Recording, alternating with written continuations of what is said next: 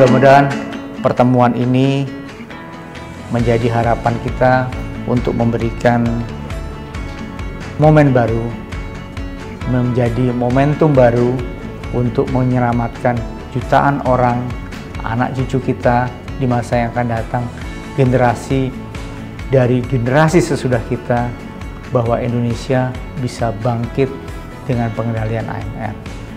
Pengendalian AMR tidak menjadi uh, subjek eksklusif dari Kementerian Kesehatan saja. Ternyata antibiotik ini tidak dipakai hanya untuk kebutuhan medis. Di pertanian pakai antibiotik, kemudian di peternakan pakai antibiotik, dan sebagainya. Maka hari ini ada Ibu Nancy, Dr. Nancy dari Menko PMK yang juga nanti akan memberikan sebagai panelis ya Bu ya. Sebagai panelis. Oh nggak, nggak jadi panelis, nggak jadi panelis.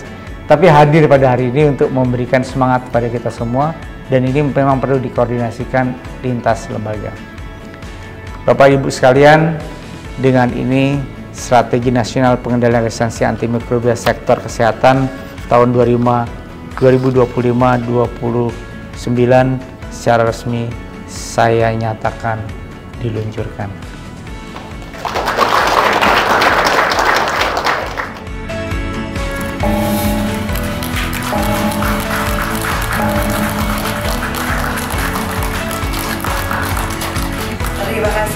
Dante dan kami persilahkan untuk berfoto bersama dengan memegang Dua, tiga.